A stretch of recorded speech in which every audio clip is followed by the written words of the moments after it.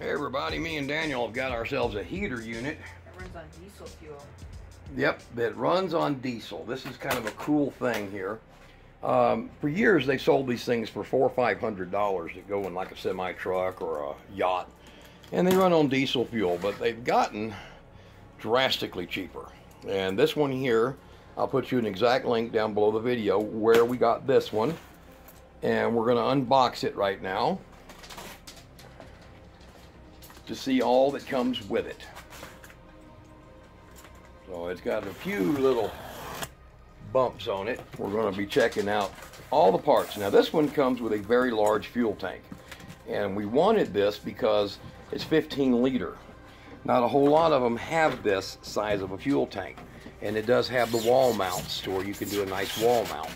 And in our case, we're going to make it to where this is accessible with a little door from outside of our Holiday Rambler cargo trailer. So right now he's going to go ahead and pull all the parts out if he can get them out of there. And y'all be sure when y'all get these, because they do travel from China, check them for any possibility of leaks or cracks or other damage in the like process of shipping. when I put this and that. Now they did a very good job here, and you can see that's a continuous foam encapsulation of this. That little hole that they had over there on the box don't really matter. Now, here's all the operating parts for it, and we'll get the heating unit out. Go ahead and lift that heating unit out of there. This is the this is the fuel pump, 12 volt. It's pretty light. and this is the unit here. Five thousand watts. So five thousand watts. That's that's roughly around sixteen thousand or eighteen thousand BTUs, I think, or roughly around fourteen to eighteen thousand BTUs, and forty watts of power. So it uses forty watts of power. So that's about three amps. You're just right at three amps of electricity, just in 12 volt that it takes. Okay. Let's go ahead and get the rest of this unboxed. This is going to go into that Holiday Rambler that we're converting into a cargo trailer slash mobile work trailer, 27 footer. Y'all can look back on my videos and see what that one looks like.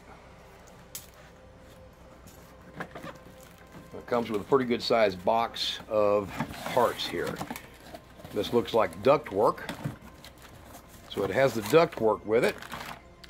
Has the adapters that go on the end of the duct work. I believe it has a T. Yep, it has a T. It's directional. That's good because I've seen a lot of these don't have a directional T. And this is pretty stout. This is really rigid, so not flexible at all. And then it has the little muffler because these do have a firing cycle. They, they literally fire like a cylinder, but they're just the injector doing that. Uh, and the injector is the way that it's supposed to atomize. It does have a little bit of sound of it running like an engine, but very light. And this here is the air intake filter, I believe. Yes, air intake filter right there. Here is all the wiring and controls. This one is the digital model. Uh, it'll show the whole thing, and I'm going to show you here. Look at this. This is the page of the seller where we got it from. I'll almost pause for that. Okay, and that is where this one came from, and that's what you get. You're going to get the real, genuine digital, not that little dial. There's a lot of those sellers, they're showing this in their picture, and this took me a while to find the guy that shows this in the picture, and you get this controller in the picture. So y'all be careful when y'all buy these. A lot of them will have the controller in them that is the, uh, the just a dial, and those will cause these things to carbon up real bad.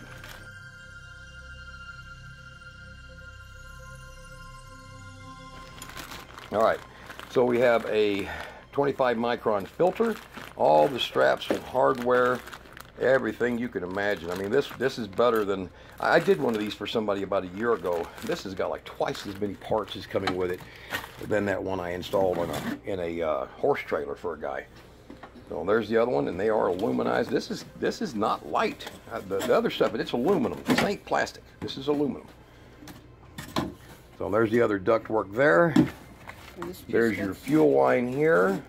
this piece that's- And your fuel line is, it's, it's PA6 fuel line. This is, this is good quality fuel line.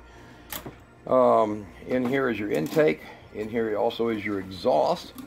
So we'll have to straighten that out to pull them out of there. That's how they ship it. And gauge wise, I'd say this is about 29 gauge.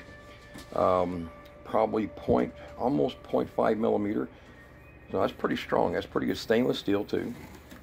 And here is your mounting plate that'll go underneath your heating unit. So I'll go ahead and move this one out of the way here. So your heating unit, and, and believe it or not, on that 15 liter tank, this thing can run for days. Um, 15 liters is, I think, roughly about four and a half gallons. So it'll run for days. Now, the way that this is set up, it has your fuel line goes here, and the plate will mount like that over your fuel line, and then you put your fuel line on, and this allows you to mount this in a location of choice. Now, for us, we're going to be putting pieces of box metal, making a little frame, and then running these down and out the side where the old heater ports were in this trailer. Um, the controls, it's the reason if you see my video on that, I'm in the middle of wiring it, it's because this is what I'm doing. We're getting ready for this thing to go in. Um, they're known as a parking fuel air heater. There's numerous brands. They show you here with a, a big truck. Um, impressive. But this is an unboxed video showing you what we got. And I don't know, I might be the first person to show you this big 15 liter um, tank that you get here. Okay, you had to find something right quick, but there you go. You see the tank in perspective. That is a 16 ounce mason jar, and there's the tank. So I'm giving you an idea on size. All right, guys, we're going to get this. I've got it all boxed back up. We're going to get this installed in that Rambler that is becoming a cargo trailer. And you're going to see how it works and how nice and clean and quiet it is. And believe it or not, for 150 bucks, I couldn't beat that deal. You can't even touch an RV heater for that price. And all that propane you got to carry. So this thing here, this big tank, it will probably last uh, with as much insulation as I have on that trailer. This thing could literally run that literally ounces an hour of use. You know, so it, it doesn't have to run all the time. That's the cool thing about the automatic controls for these heaters is that that's what they'll do. They, they're thermostatically controlled. So that's kind of a cool setup.